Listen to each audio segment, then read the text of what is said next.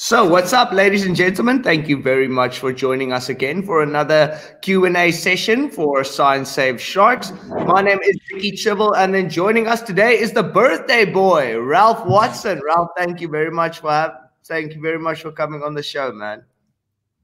Uh, thank you very much, Dickie. Glad to be back. Yeah, man. I even baked you uh, a COVID birthday cake, bro. So, uh, yeah, thank you man. so much okay, guys, for those of you that might not have joined on our on our Wednesday show, um, we were talking about mark recapture and answering important ecological questions about sharks.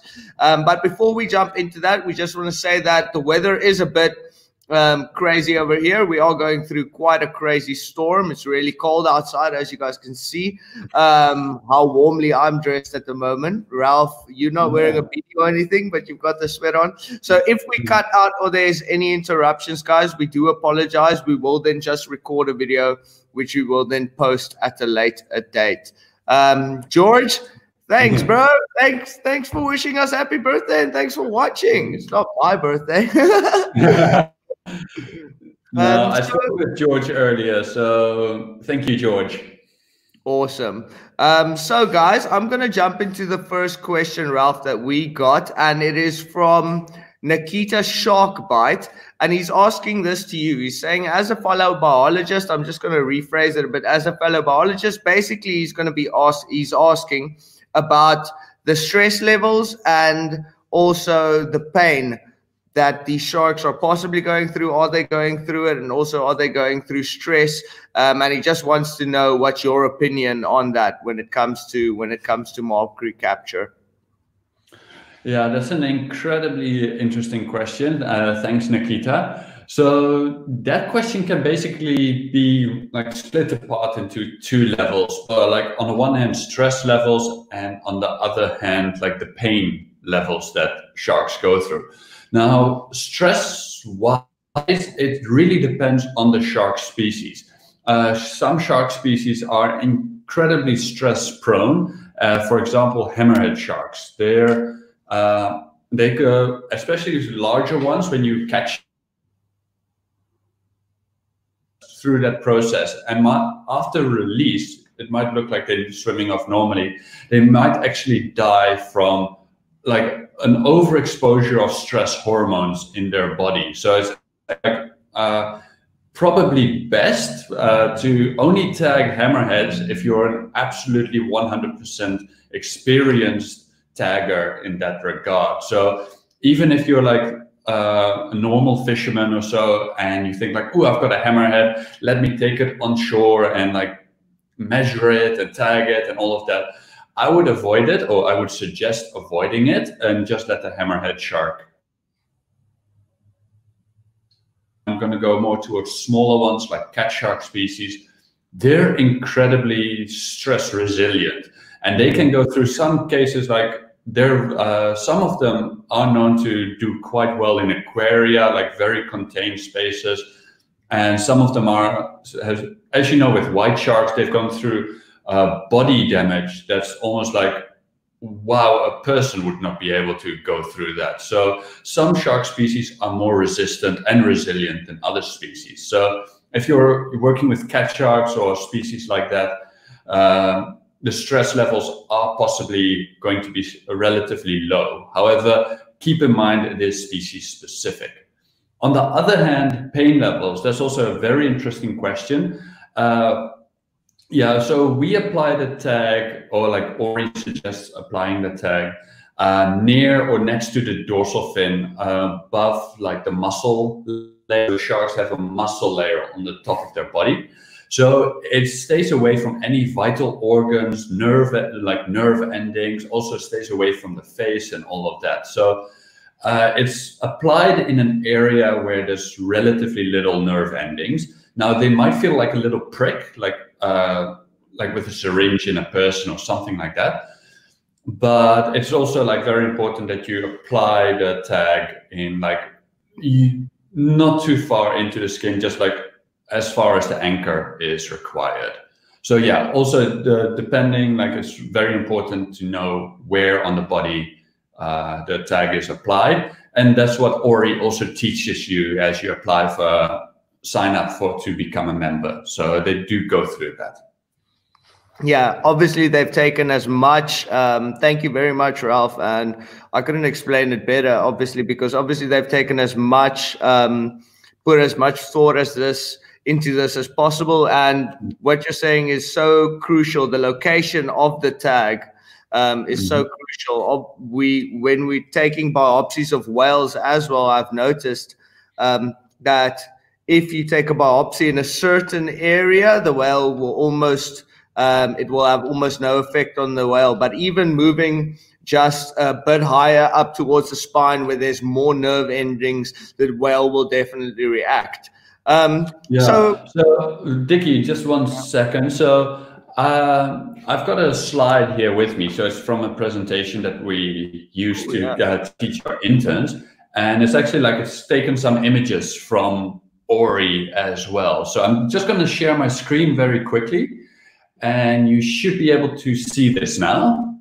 Just let me know yeah, if you do. Ahead. All right. So as you can see, it's like uh, with a shark, like uh, a black tip shark there, is right next to the dorsal fin. If you're working with like stingrays or like uh, more flat rays like that, uh, the tag will be positioned fin or uh, near the tail for the skate. So it avoids all the vital organs. And then as you can see with a bony fish, it's like just at the top of the body next to the fins over the ridge. And also in a the best uh, place on the body where it can be positioned. Awesome. Um, yeah, thank you. So, bro, uh, there's another question that we had. Um, that I want to get to. I think that um, one is oh, for you. Yeah, yeah, yeah, definitely, dude. I'm freezing outside. Actually, where I am right now, it's raining and it's freezing because the door broke. I don't know if you guys watched a couple of live episodes back, but the door is still actually broken. I've got this really cold breeze coming in, so it's really, really chilly. But other than that, um, thank you, thank you for joining in, um, Ralph. I wanted to ask you is there any species that you don't want to tag or any regulations when it comes to the ori maybe size maybe different species that you don't want to be tagging? Yeah so uh, when it comes to fish and shark species what ori is aimed at uh, the tags actually come at a specific size. So this is the one and then there's another tag that's slightly bigger but as a result of that, it means that you don't want to tag animals that are for which the tag is too big, that it actually inhibits them. So they've put a size limit on it of about 30 centimeters. Obviously, if you're dealing with a very long, very thin fish, then uh, they would suggest like not tagging those either. So as long as the tag again doesn't inhibit the natural movement or growth of the animal. And also ORI is aimed at fish and shark species. So any marine mammals are completely off limit actually by law, unless you have a specific permit to work with marine mammals. They're completely off limit for any tagging or research or stuff like that and obviously seabirds as well. So don't go around tagging penguins. Yeah. Um, that well, that I hope that makes logical sense to everybody, guys. I did try looking for stories of people tagging themselves, and as I was looking for it, I didn't really. Um, I don't think it's something people would advertise. Um, Ralph and I spoke about it earlier. It's not something that you would generally advertise. It makes for a good pub story. So unfortunately, I couldn't find any photos or examples. But I did speak to one of my mates who is hectically into the Ori. His name's Peter du Toit and he's a keen fisherman from the Gansbaai area where we are. And he told me a very interesting story. He once tagged the bronze whaler off High Clip that we have here. And a year and a half later, his son caught that exact same shark. Um, it was either a year or a year and a half. Um, that his son caught the exact same shark in the exact same spot. And then a year or a year and a half later, his friend's son also caught that exact same shark at the exact same spot. Well, that's absolutely a fantastic story. So, yeah, again, like with the tag, it's got an ID number on it. So, obviously, you know it's the same shark. But also, like, as I talked on Wednesday, it's like uh, for a lot of shark species, certain areas are vitally important to them, either for reproduction. Like you say, it's like if it's been caught like year after year in the same location, it means that that area is very important for that species. Now, you and I both know like bronze whalers are seasonal, so we do find them a certain time of the year, and then other times of the year they're actually gone elsewhere. But that is caught the same time, place over and over again is very like to see like put an acoustic transmitter on a few of them uh, stuff that you and Ali talked about, and see does the result of this ORI tagging is that supported by acoustic telemetry, and where do they go afterwards? So this only shows it's reappearing in the same location. Now it's interesting to see where are they going elsewhere. Oh well, that's uh, Roger. Um, uh, very interesting question. I think Ralph almost almost sort of answered it there. If he's not trying to tell us anything else, he's telling us that is an important ground, um, possibly breeding ground for these sharks. Do you agree, Ralph? Yeah, uh, it's very difficult to say based on like just them being there, but it could be reproduction, breeding. Uh, it could be an important food uh, location for them as well or depending on how the shark behaves, whether it's an aggregation site, an area for them to socialize. Yeah, yeah, it could just be a bunch of sharks hanging out at the spot. at the spot, you never know. Again, again warrants further research. Yeah, um, but one thing that we have is South Africa, a world leader in tagging ethics. Ralph, I'm going to hand this over to you. That's a very good question. Uh, I'm not 100% sure, but Ori does does definitely try to be part of that. So uh, the tags that uh, Ori uses comes from Australia, and I know that Australia also has a tagging project similar uh, similarly. But whether they're a world leader in the ethics of it, I definitely uh, think Ori is trying to be like right at the top there. So.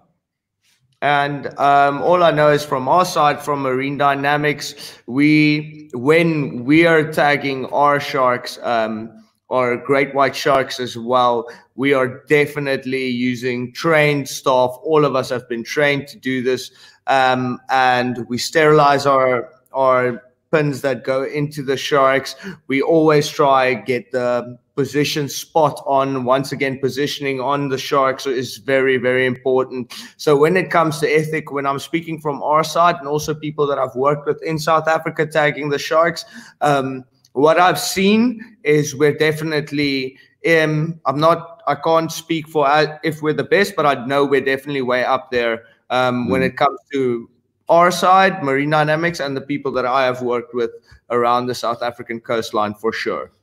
Mm, absolutely, it's uh, but it's also like sometimes you try to aspire to as high as possible, so you do become very self-aware of like how we do things.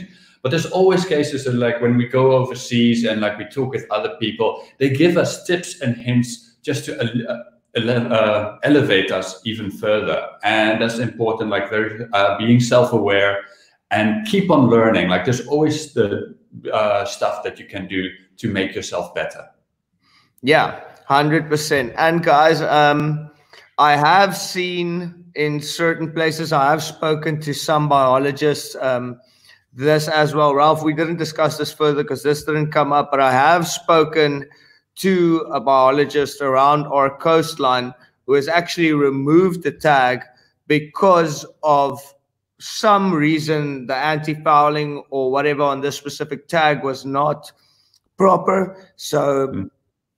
it had a, a large amount of growth on the tag and that actually ended up creating a lot of drag for the animal. So he actually removed it as well. So not just when tagging, but also looking after the animals um, in the vicinity that have tags on.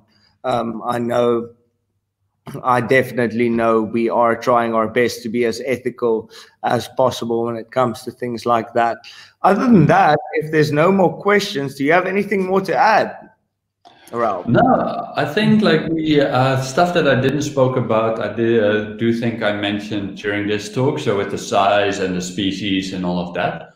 But yeah, so it, but if people do have questions that they want uh, answered, you can leave a comment hashtag science save sharks, and then and maybe we can uh, touch upon it at a later time, and then uh, I'll be able to answer it. Yeah guys and please always if you guys have questions if you guys have comments messages on our facebook or instagram. Um, we're always available. Check out our youtube channel. And then yeah man always drop mm-hmm. drop us an email on our dict as well and go check out some of the research and stuff we are doing on the Dyer Island Cruise Dyer Island Conservation Trust website dict.org.za um, there you can see what Ralph is up to with with the interns as well as some of our conservation projects. And okay, is there another question?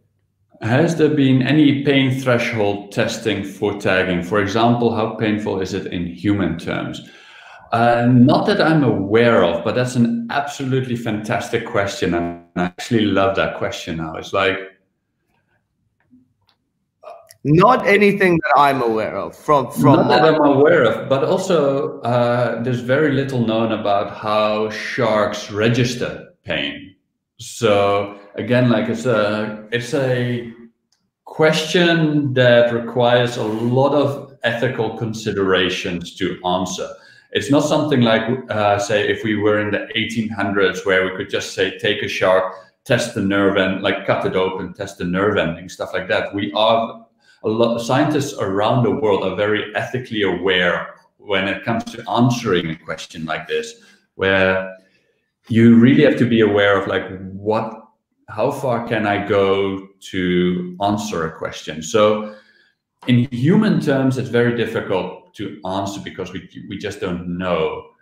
Uh, but one thing I can tell you from the expedition project from from my side is I know for instance, great white sharks don't like getting hurt. I've seen them bump a boat um, or in some instances a cage before. If these sharks get hurt, they will generally leave the area.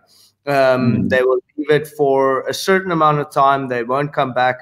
But usually, I've seen many a time after tagging um, a great white shark with an acoustic tag, um, they tend to stick around the boat. Yeah. So they so, will react. They do. They do give that initial reaction, but they won't mm-hmm. leave the area. And that to me just says that they haven't gone through a traumatic experience or increasingly painful experience.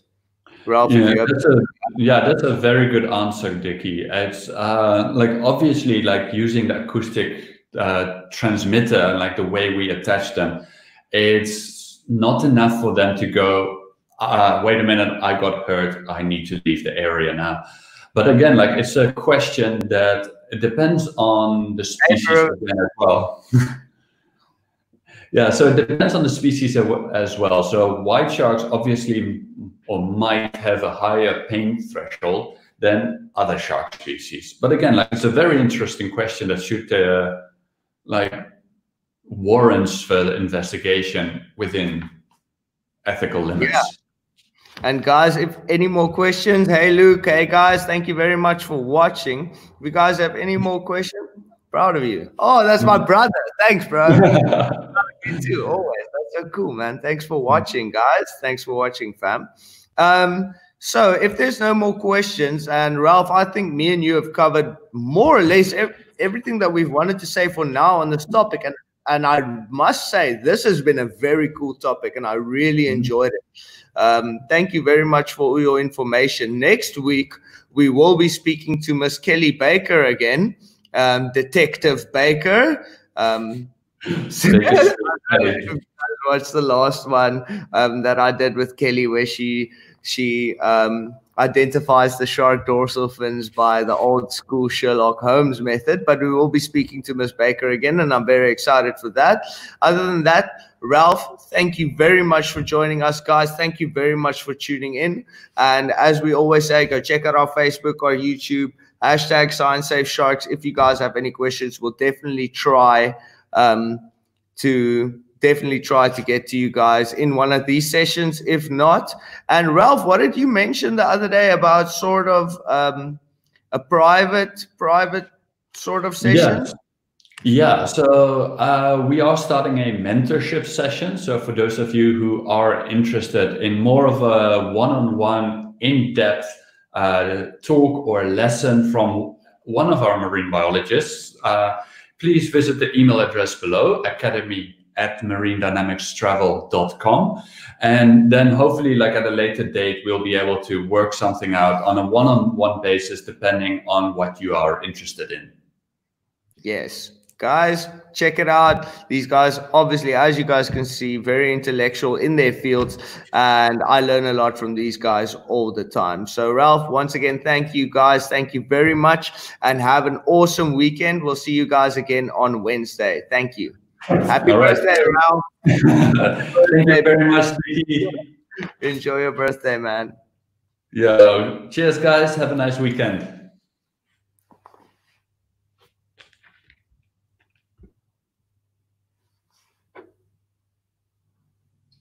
We're still live, guys.